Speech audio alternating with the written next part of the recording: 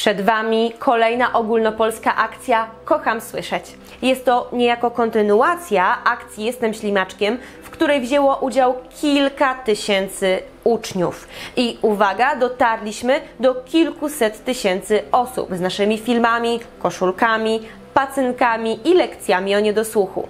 Tym razem odsłona Kocham Słyszeć, gdzie również mamy do zrobienia pewne zadania, także liczę na Ciebie, że wykonasz je i razem zwiększymy świadomość związaną z niedosłuchami, z aparatami słuchowymi, z procesorami dźwięku. Jeżeli pracujesz w przedszkolu lub w szkole, albo jesteś rodzicem dziecka z wadą słuchu, możesz zorganizować w swojej placówce zajęcia według mojego scenariusza o niedosłuchu dla dzieci młodszych i starszych od 5 roku życia do 14 roku życia, wykonać pewne zadania i przesłać mi je do 2 listopada.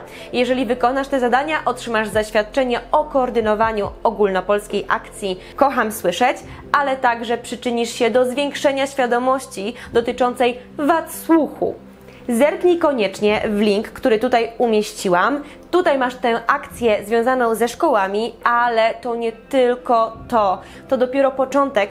Możesz także zmienić nakładkę na Facebooku, hashtag kocham słyszeć i dopiero zaczynamy. Akcja będzie stale się rozwijać, także obserwuj moją stronę, obserwuj mój fanpage i do zobaczenia. Przyłącz się do naszej akcji Kocham Słyszeć.